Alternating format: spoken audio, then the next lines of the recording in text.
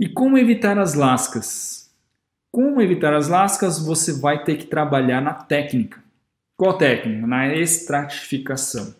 Quanto menos interface, menos a chance de falha. Se eu tenho mais interfaces, mais chances de falha. Tá? Manipulação da resina para deixar menos bolha de ar, porque daí também se ficar bolha de ar entre os incrementos, pode gerar ali a tensão e tum, soltar todo o incremento ali, ok?